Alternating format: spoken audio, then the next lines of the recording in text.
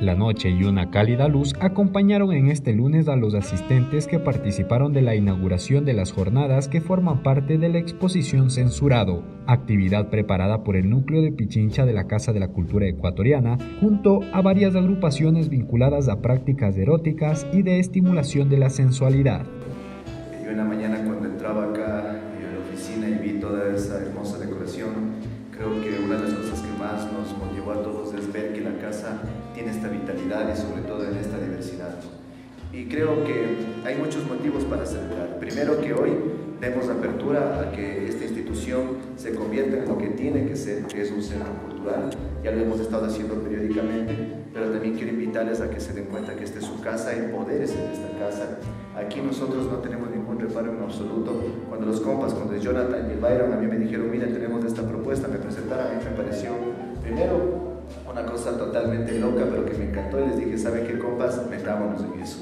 O sea, si hay otros espacios que no nos abren las puertas, pues nosotros somos los encargados de poder hacerlo.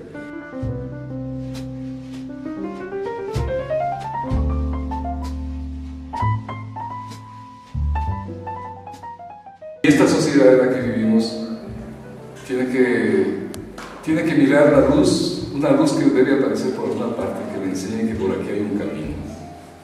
Y ese camino podrán seguir todos los que quieran, muchos, o pocos, no sabemos, pero todos los que quieran. Entonces, eso es lo que nosotros queremos sembrar con eventos como este, con el mayor respeto a todo el mundo, a todos, pero sobre todo con el mayor respeto a la, a la diversidad, a lo panorámico, a esta nueva visión que es la que tiene que ir construyendo una visión del futuro, porque no podemos seguir viviendo con, una cantidad de prejuicios, con una cantidad de, de actitudes que desvalorizan a las personas simplemente por tener una visión diferente. Núcleo de Pichincha, apoyando a la cultura en territorio.